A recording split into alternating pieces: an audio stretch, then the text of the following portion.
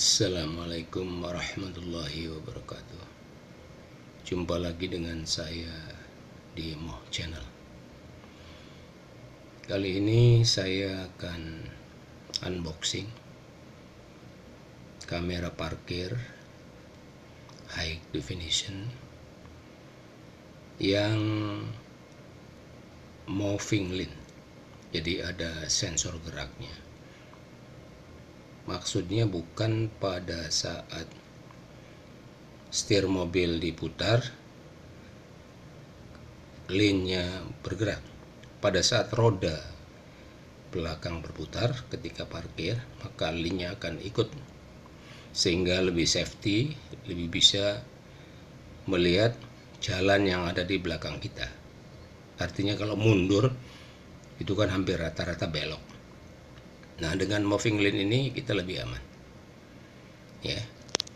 Uh, merek dari kamera ini Skeleton.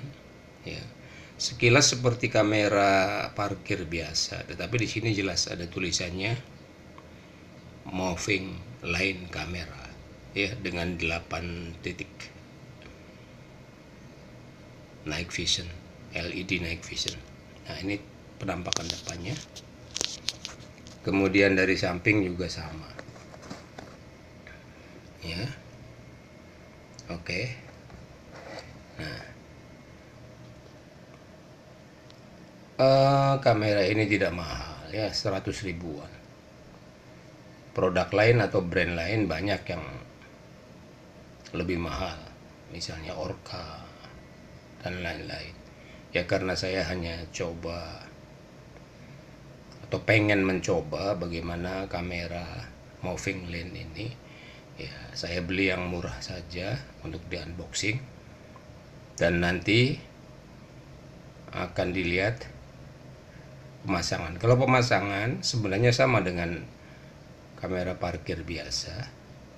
Jadi saya tidak detail nanti dalam pemasangannya.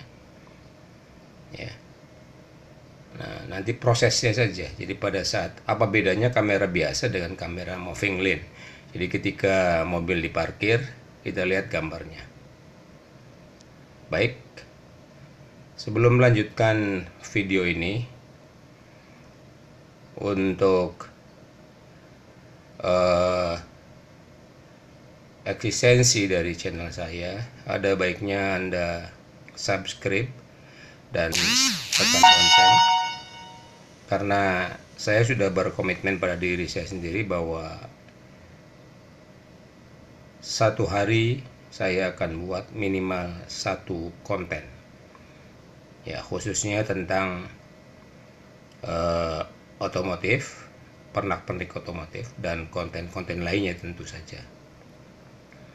Baik lanjut tonton seterusnya video ini Oke, kita lanjutkan.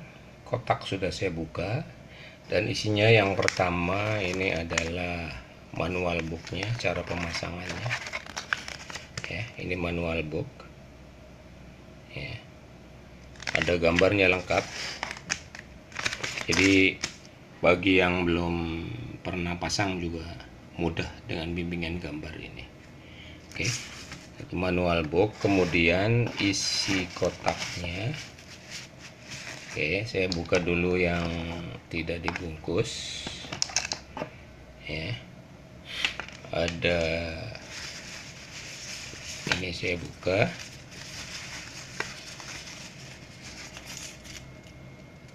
Oke. Nah, ini saya pinggirkan dulu. Jadi ini kameranya.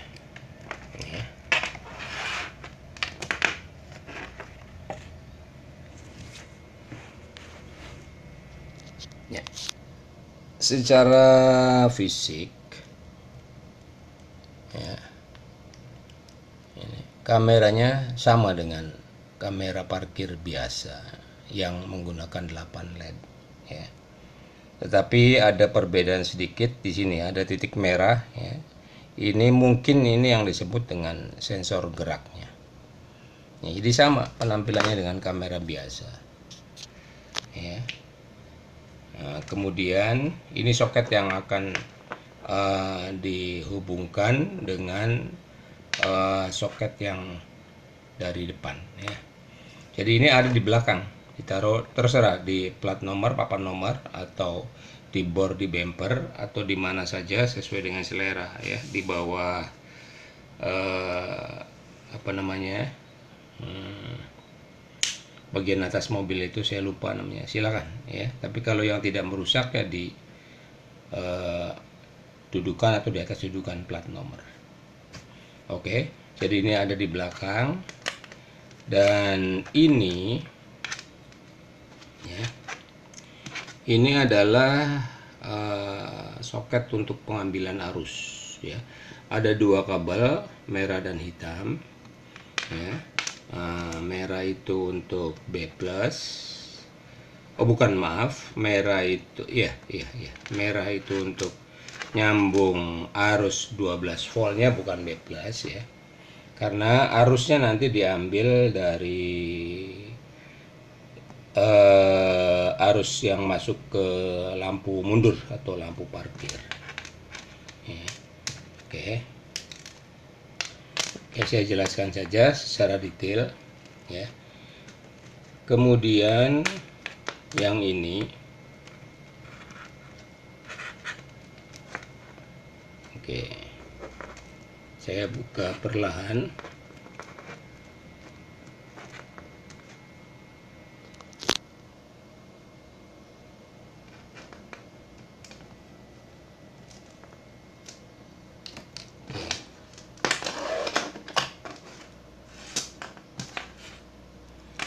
Oke, ini kabel panjangnya kurang lebih 5 meter.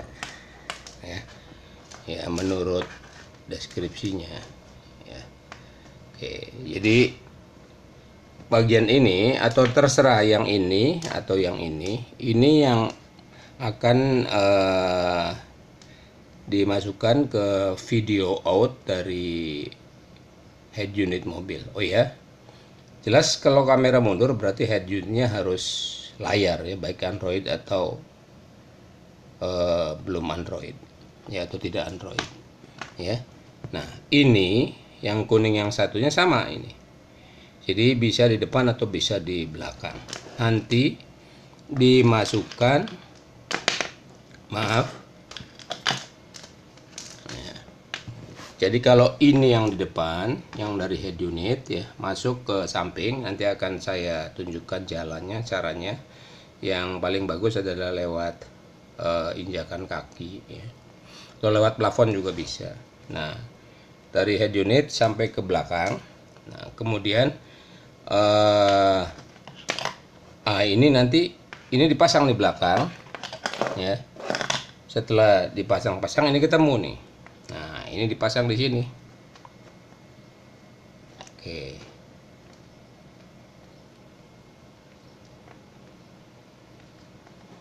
Ya kemudian nah yang merah ini ya ini ketemunya dengan yang ini. Ya. Oke. Jadi ini dengan ini ini dengan ini. Ya.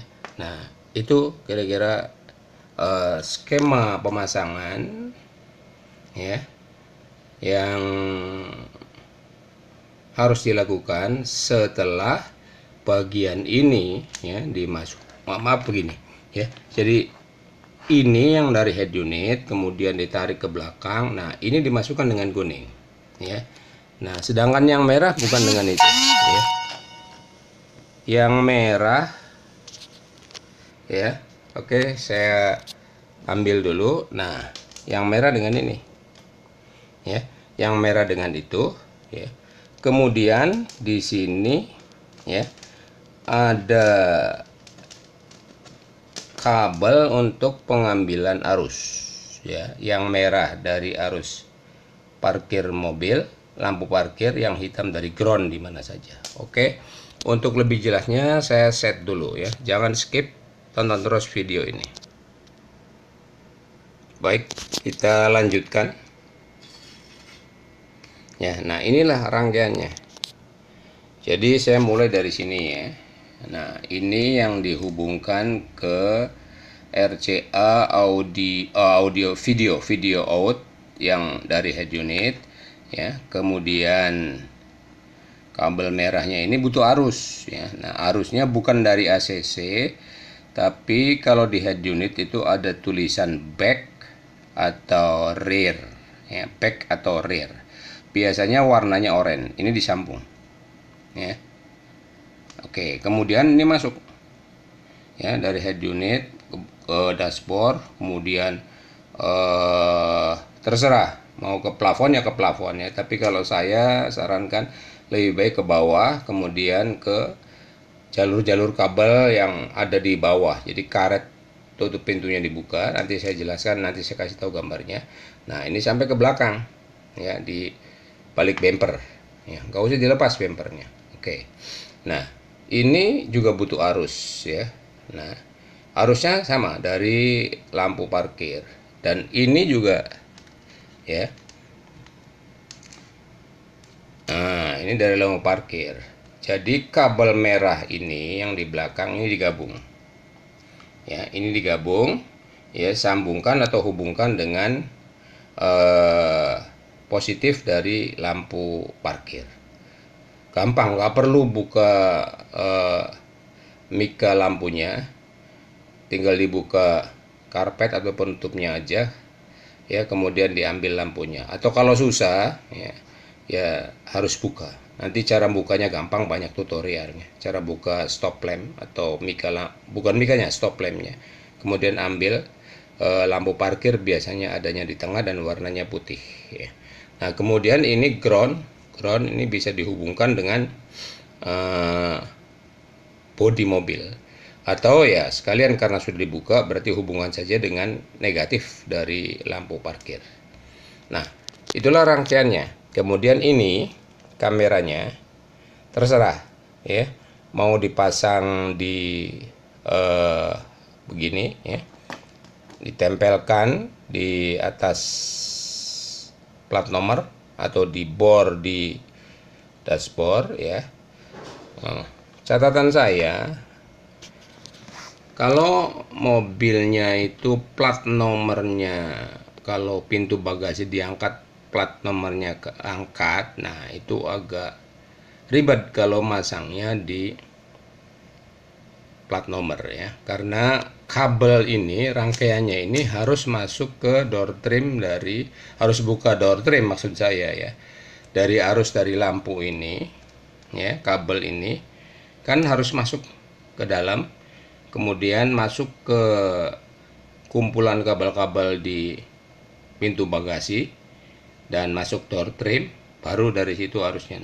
Yang susah itu tapi bisa digunakan untuk uh, digunakan pakai kawat yang lentur ya keras tapi lentur.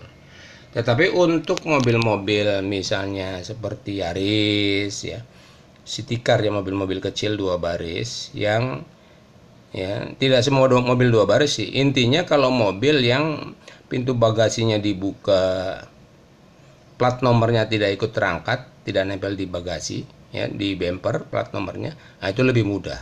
Ya. Jadi nanti ini kabelnya lewat belakang aja dari stop lamp, ya. Kemudian nanti akan ada di belakang bumper. Tinggal dirapikan saja pakai uh, kabel tis, ya, diikat supaya tidak geleweran katanya. Oke. Untuk uh, skema pemasangan kurang lebih seperti itu. Nanti akan kita lanjutkan bagaimana kondisinya di mobil. Ya, jadi pemasangan di mobil walaupun sudah saya sudah pasang tapi nanti akan saya jelaskan lagi. Ya. Oke. Okay. Dan uh, kalau melihat uh, jenisnya dan saya sudah coba bagi yang sudah uh, memasang atau memasang kamera parkir ya nggak perlu repot-repot lagi dicopotin semua nggak perlu. Ininya aja kameranya. Dari soket ini sampai kamera itu diganti. Kamera yang lama yang nggak mau lane dilepas. Nah, pakai yang ini yang moving lane ya. Secara otomatis nanti dia akan moving lane karena moving lane dan tidaknya itu adanya di sini. Ya ada sensor geraknya di sini. Ya Nah, itu untuk mobil yang pasang kameranya aftermarket ya. Kalau yang kameranya bawaan beda ya, bedanya di sini ya. Baik. Uh, baik di soket depan atau di belakang. Kalau yang Jadi sudah ada kamera bawaannya mobil-mobil baru ya. Sudah ini tidak pakai pasang kamera aftermarket. tapi pakai soket Ya. 5 pin. Ya, tinggal ganti yang belakang Yang aja. pertama. Dari mulai kamera sampai soket ini. Ini dilepas saja. Kan itu. Nah, tapi kalau yang kameranya itu sudah ada di mobil, eh, biasanya dia pakai soket yang beda. Ya, kalau mobil yang lama mungkin soketnya sama atau bukan sebenarnya eh, bukan bawaan mobil ya. Nah, soketnya soket 5 pin, jadi eh, di sini 5 pin di depannya, di belakang juga eh, di depan juga 5 pin ya.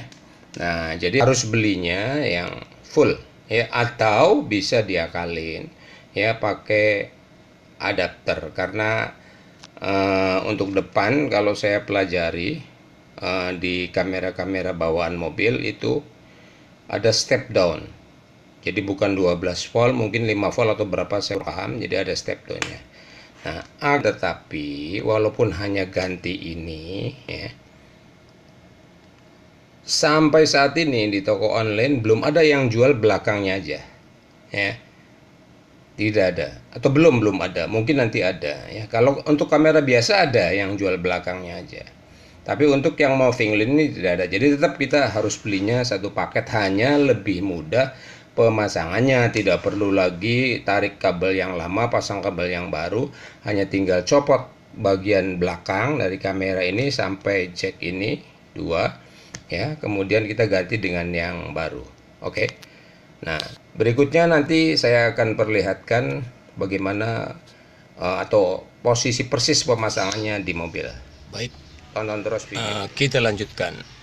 Sekarang saya sudah berada di mobil Etios Falco. Ya, dan kebetulan head unitnya sudah diganti dengan 9 in menggunakan frame.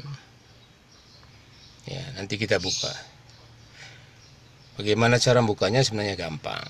Ya, ada di tutorial saya secara umum.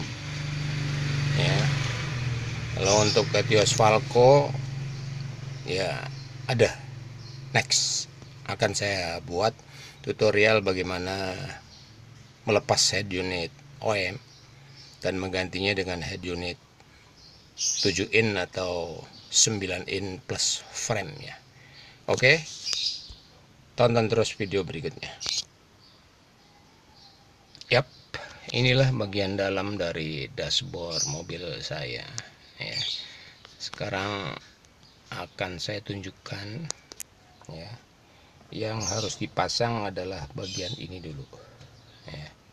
Bagian ini saya ambil yang bagian depan. Nah, ini. Nah, di mobil saya sudah terpasang kamera. Bagian depannya yang mana? Ini saya tunjukkan. Nah, itu tuh. Ya. Jadi ini. Nah, ini kan sama nih. Ya. Ini ini nanti kabelnya tarik ke belakang dan ini disambung dengan eh, soket ya di sini yang ada tulisan eh, back atau rear. Ya. jadi saya ulangi lagi kabel ini ya. Dimasukkan ke belakang. Nanti ujungnya ya eh, kelihatan seperti ini. Oke ya. Nah memasukkannya ke dashboard ke sana. Terus ke bagian sisi pintu dan seterusnya sampai ke belakang. Ya. tidak perlu saya buka lah itu gampang. Oke. Baik sebelum saya lanjutkan ada beberapa catatan yang perlu saya sampaikan dulu ya. Yang pertama ya. Nah kabel arus ini ya nanti akan masuk ke soket head unit ya dan di awal saya jelaskan ah, saya sebutkan warnanya orange tapi ah, di sini coklat ya. Intinya warna tidak jadi masalah sebab kalau kita ganti head unit ini ada keterangannya semua ya. Yang keterangannya rear atau back ya kamera belakang. Kemudian yang kedua statement yang kedua nah ya kabel ini terserah mau masukkan ke sebelah kanan atau sebelah kiri ya dengan pedoman di mana letak tangki bensinnya ya. Di mobil itu Swalco ini di sebelah kiri.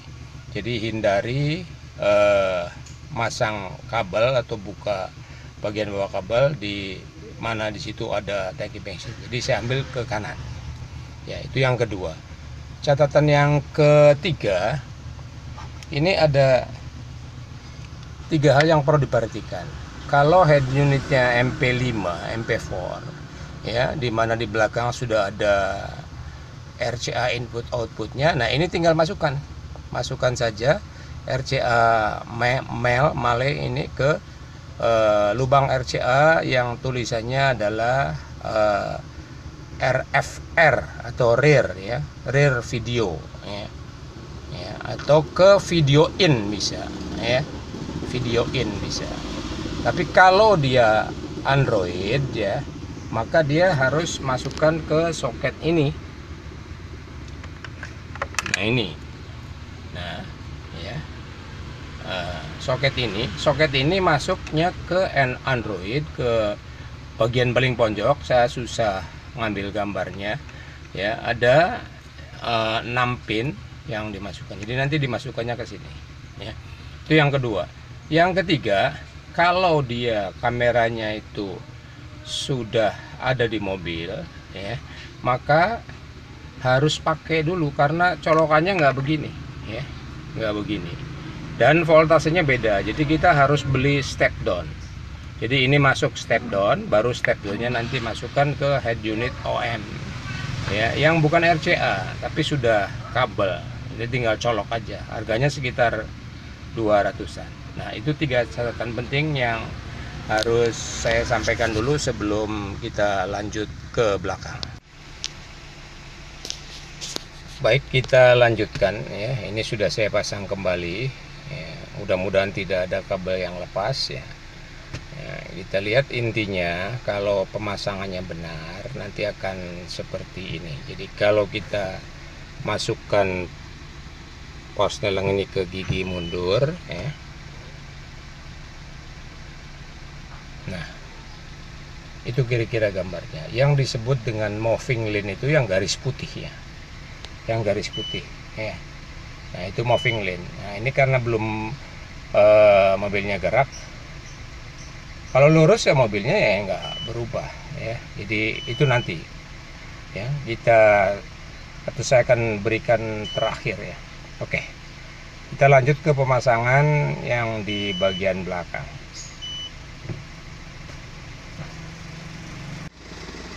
nah kita lanjutkan ya. Nah di sinilah kita pasang uh, kamera belakangnya ya. Nah, saya katakan tadi kalau yang mobil yang kap mobilnya uh, dibuka bagasinya dibuka kemudian plat nomornya tidak terangkat itu lebih mudah. Nah, oke kita lanjut ya nah ini kap mobilnya dibuka plat nomornya di bawah jadi gampang. Jadi tinggal dimasukkan saja kabelnya. Oke lanjut. Ya setelah ini dipasang ya di sini. Atau di bor di spark bor kemudian kabel ini ya ini dimasukkan ke dalam menggunakan uh, kawat yang lentur tapi keras ya. Kemudian ya dia akan keluar sini ya keluar ke sini. Nah, kemudian yang arus yang ini ya, disambung dengan kabel merah yang ini. Ya yang dari sana. Sorry maaf. Ya. yang dari sana keluar disambung. Nanti ngambil dari stop lamp. Ini bisa dibuka stop lampnya ambil arus masuk lampu. Ya, baru nanti ya, ini dimasukkan ke ya, dimasukkan ke soket yang merah seperti diagram lah pokoknya seperti diagram yang sudah saya jelaskan.